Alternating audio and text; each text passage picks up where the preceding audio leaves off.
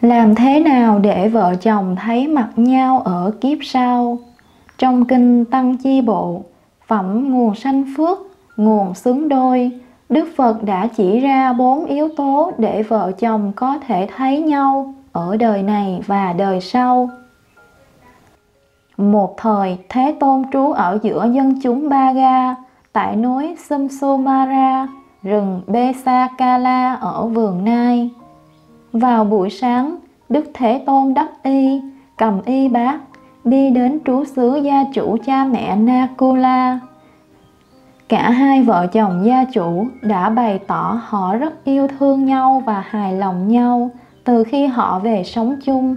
Họ nói rằng, khi con còn trẻ tuổi, con không bao giờ biết con có điều gì xâm phạm đến vợ con, cho đến ý nghĩ cũng không, chớ đừng nói gì đến thân vì rằng bạch thế tôn, chúng con muốn thấy mặt nhau trong đời này mà còn muốn thấy mặt nhau trong đời sau nữa.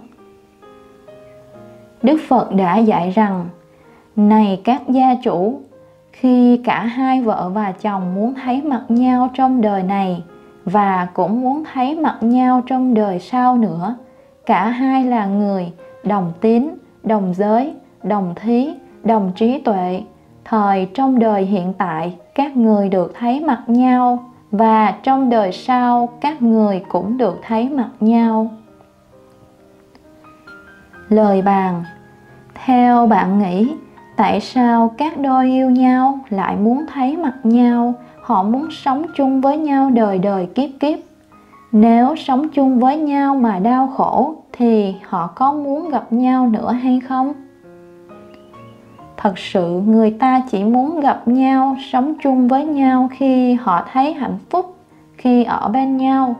Phía sau sự mong muốn thấy mặt nhau là có được niềm hạnh phúc mà người kia mang lại. Ở bên nhau là để trân trọng những giá trị hạnh phúc, chứ không đơn thuần là gần nhau về khoảng cách. Sự đồng cảm sự bao dung và sự thấu hiểu giữa hai bên là nền tảng để tạo nên hạnh phúc.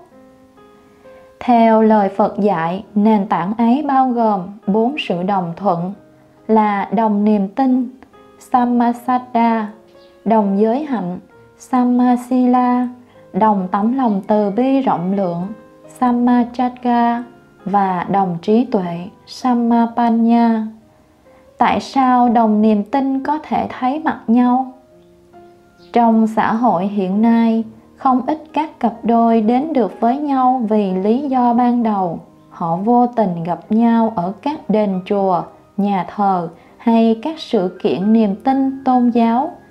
Khi cùng một niềm tin, cùng một đối tượng để tôn thờ, thì cả hai dễ gần nhau, hiểu nhau và dễ thống nhất với nhau về các giá trị sống liên quan như quan niệm sống, chuẩn mực đạo đức hoặc mục đích sống.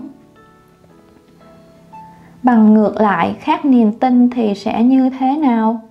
Khi khác biệt niềm tin với nhau, bạn không được tự do hành trì theo niềm tin của mình. Như thời khóa hành trì, dạy dỗ con theo niềm tin của bạn. Khó khăn trong sự chia sẻ lắng nghe nhau vì không có sự thấu hiểu và đồng điệu nhau về niềm tin thì sẽ khiến cho người thương của bạn trở thành nô lệ tinh thần. Vì họ không có bất kỳ cảm xúc nào khi nghe, thậm chí họ cảm thấy mệt mỏi vì những điều không thích nghe. Đôi khi, vô tình bạn khiến người thương của mình bị tổn thương vì sự cao thấp giữa thế tục hóa và thánh thiện hóa, hoặc họ cảm thấy tự ti, thấp hèn vì chỉ ăn, ngủ, công việc và hưởng thụ của bản thân. Ví dụ, nếu bạn là một người quyết tâm hành trì để thoát khỏi những tham sân si bên trong mình bằng việc mỗi ngày thức dậy lúc 3 giờ sáng, nhưng người chồng, người vợ của bạn không hiểu được những gì bạn đang làm, cứ thấy bạn âm thầm, lặng lẽ hay lén lút dậy sớm rồi ngồi yên một mình, hoặc miệng cứ thì thầm đọc tụng. Tuy họ không nói gì, nhưng âm thầm trong đầu họ đã xuất hiện sự khó chịu, sự bực tức, và lâu dài sẽ dẫn đến tức nước vỡ bờ. Khác biệt niềm tin là một trong những lý do phổ biến khiến cho gia đình ly tán.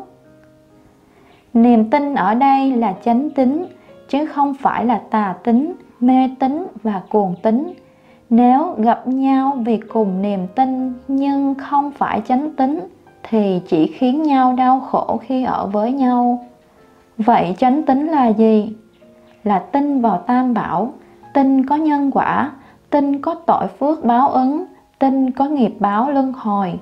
Tin vào chánh pháp, tức con đường giải thoát sinh tử đưa đến niết bàn và bản thân tự mình có thể tu tập trên con đường đó còn đồng giới có thể thấy mặt nhau là vì sao? Giới là giới hạnh, là các chuẩn mực đạo đức, là nhận thức về các hành vi trong đời sống nhằm hướng con người đến sự hoàn thiện và hướng thượng hơn. Cùng giới mới cùng một loài, cùng một phước báo để sinh ra cùng một nơi. Nếu một người giới cao, một người giới thấp thì không thể gặp nhau và sống chung được với nhau nếu sống chung cũng không thể nhận ra nhau. Ví như con vật bạn thương yêu, nó có thể từng là người thương của bạn ở kiếp trước. Ngay đời sống hiện tại, nếu cả hai đã được gặp nhau và sống với nhau, nhưng một trong hai người không giữ được năm giới, thì người này đã làm khổ người kia, và chắc rằng họ sẽ không hy vọng để gặp nhau ở kiếp sau và cũng không thể gặp nhau. Chẳng những vậy họ có thể đã quyết định chia tay không còn muốn thấy mặt nhau nữa ngay đời sống hiện tại. Trong phẩm nguồn sanh phước phần 53 xứng đôi của Tăng Chi Bộ Kinh, Đức Phật cũng đã chỉ ra bốn loại sống chung với nhau, bao gồm đê tiện nam sống với đê tiện nữ, đê tiện nam sống với thiên nữ, đê tiện nữ sống với thiên nam và thiên nam sống với thiên nữ. Đê tiện là chỉ cho những người ác giới, tánh ác, sống ở gia đình với tâm sang tham và mắng giết. Còn thiên nam, thiên nữ là những người sống giới hạnh lành, biết bố thí, không sang tham. Nếu một trong hai người hoặc cả hai người là ác giới, sang tham thì cuộc sống đó không thể hạnh phúc nhưng khi cả hai là người có giới, không sang tham, biết bố thí, dùng lời nói thân ái với nhau, thì đời sống đã có nhiều hạnh phúc và đạt được các điều mong cầu. Đồng bố thí là vợ chồng có chung một tấm lòng rộng lượng, từ bi, muốn chia sẻ, giúp đỡ người khác thoát khỏi những khổ sở bất hạnh, cả vật chất lẫn tinh thần. Trong thực tế có những người vợ hoặc những người chồng rất chi ly tính toán trong việc sử dụng tiền của để làm các việc thiện lành, giúp đỡ những người thân hoặc những người có hoàn cảnh khó khăn. Khi chồng muốn chia sẻ, giúp đỡ các anh chị em còn khó khăn trong gia đình mình, nhưng người vợ thì không vui vẻ, không ủng hộ hoặc ngược lại, thì đây là nguy cơ tiềm ẩn cho những bất hòa những lừa dối nhau trong đời sống vợ chồng. Vì sợ người kia biết được họ không thích, không vui, nhưng lại không thể ngó lơ khi nhìn người khác khổ sở, thì việc lén lút giúp đỡ là cách tốt nhất có thể chọn. Thương nhau mà để nỗi sợ hãi tồn tại thì đó chưa thật sự là thương nhau. Ngược lại, cả hai đồng tâm muốn chia sẻ, bố thí, giúp đỡ người khác, thì cả hai cùng vui vẻ cùng hết lòng thực hiện. Nếu có gặp khó khăn gì, thì cũng dễ dàng trao đổi, chia sẻ cho nhau. Thì sự truyền thông càng nhiều, đồng cảm với nhau càng nhiều, thì sẽ hiểu nhau hơn. Khi cả hai biết bố thí, kiếp sau gặp nhau không nghèo hèn mà đầy đủ sung túc, cuộc sống dư giả là một điều kiện quan trọng xây dựng hạnh phúc gia đình. Đồng trí tuệ là vợ chồng có cùng mức độ hiểu biết, cùng nhận thức với nhau về nhân quả, về thiện ác. Khi mà vợ chồng có đồng nhận thức, thì dễ dàng thấu hiểu nhau hơn. Họ biết được lý do vì sao người kia làm như vậy. Dễ dàng tha thứ và thông cảm với nhau hơn. Chẳng những thế, họ còn hỗ trợ nhau, cùng nhau hoàn thiện. Khi hiểu nhau thật nhiều, thì tình thương sẽ càng lớn và càng vững chãi đừng nghĩ tìm được người thương sẽ hạnh phúc. Người thương của bạn có thể là do nghiệp đưa đẩy đến, chứ không phải vì nguyện. Nên rất nhiều người thương nhau đau khổ rất nhiều. Tình yêu không tạo ra khổ, nhưng do họ đến với nhau không dâng tặng hạnh phúc cho nhau, mà đến đòi hỏi bóc lột nhau. Tình yêu đến từ sự chăm sóc, che chở, thương quý, đồng điệu, tri ân lắng nghe, thấu hiểu. Ngay từ ban đầu, vợ chồng đã bỏ qua hết mọi khó khăn để đến được với nhau. Nhưng trong tình yêu, chắc chắn sẽ có nhiều trở ngại, khiến cho tình thương bị thách đố.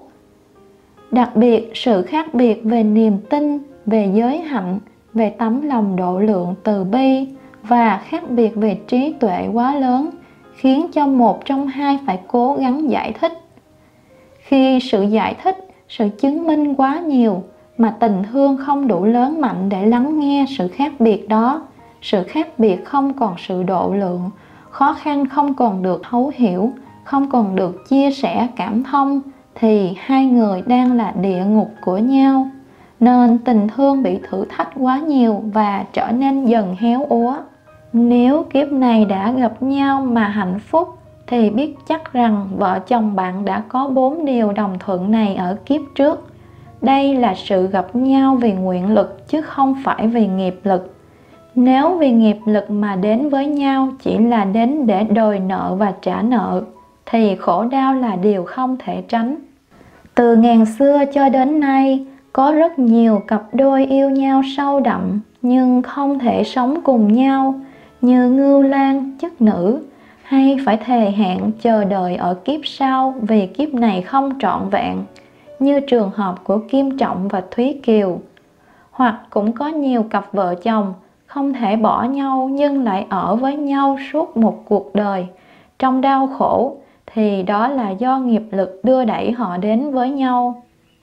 Vợ chồng sống với nhau một đời hạnh phúc mà đến cuối đời vẫn thề non hẹn ước với nhau ở kiếp sau thì trong tình yêu họ đã có được hạnh phúc đích thực của sự đồng điệu và sự thấu hiểu trong tâm tư và tình cảm, nên họ mới muốn được tiếp tục nâng niu giữ gìn hạnh phúc ấy. Nhưng nếu sự thề hẹn bắt nguồn từ sự tham ái, mê mờ của dục vọng, thì sau này chắc chắn sẽ đau khổ vì sự khác biệt trong tâm hồn quá lớn. Thấu hiểu những điều phật dạy nếu mong muốn vợ chồng sống hạnh phúc với nhau đời đời kiếp kiếp, thì ngay trong đời sống hiện tại, các cặp vợ chồng phải nên cùng nhau nuôi dưỡng bốn điều đồng thuận trên. Khi cả vợ và chồng đồng niềm tin, đồng giới hạnh, đồng tấm lòng từ bi và đồng trí tuệ, thì thấy mặt nhau ở kiếp sau là một điều tất yếu. Hẹn thề có thể gặp nhau hạnh phúc thì phải chung câu tu hành.